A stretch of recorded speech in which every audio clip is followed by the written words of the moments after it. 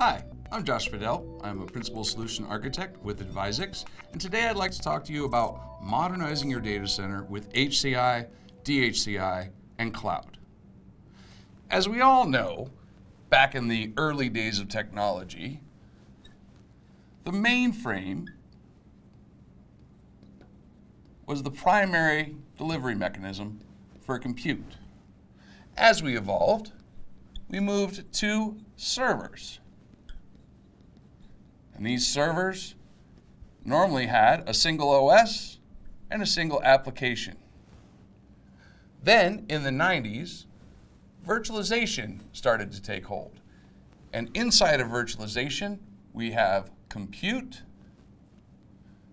we have memory, and the big secret of virtualization, shared storage. Now, we can share our compute and memory across all the hosts in a cluster. Memory is limited to what's inside a single host, but shared storage is available to all the hosts in the cluster. And because we are good engineers and we know how to architect traditional or vintage architecture, we have two controllers on our storage. We have two fiber channel switches, and everything is cross connected.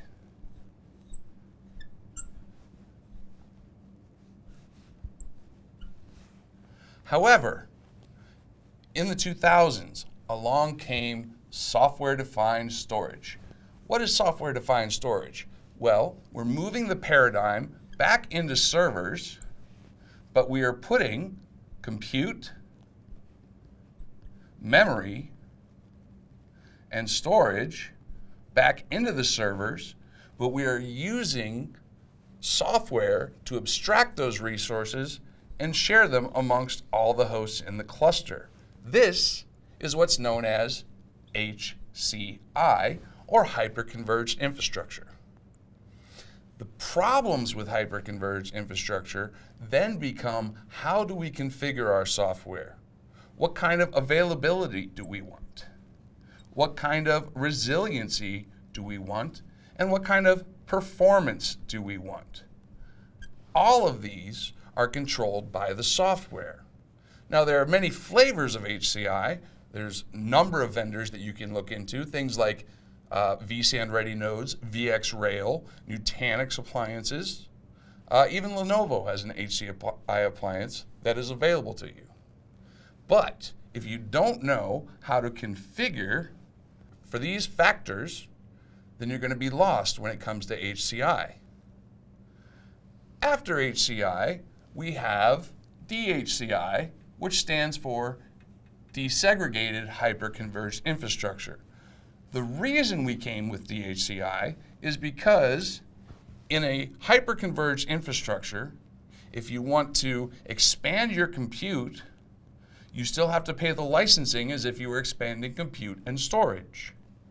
If you want to expand your storage, you still have to pay the licensing as if you are expanding your compute as well. This adds cost.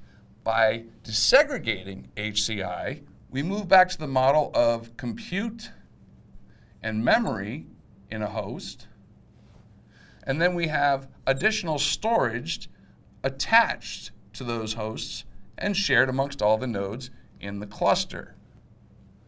Now, a lot of people would say, well, that just sounds like converged infrastructure.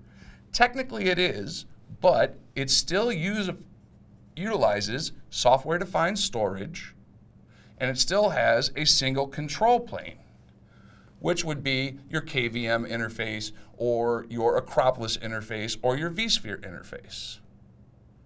Now, we've evolved even farther beyond that, and of course we have today cloud. Cloud is great.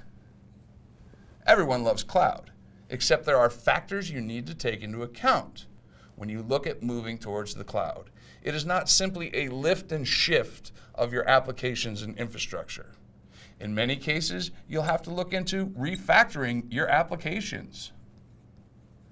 In some cases, you'll have to look at how do I translate my infrastructure today to cloud infrastructure.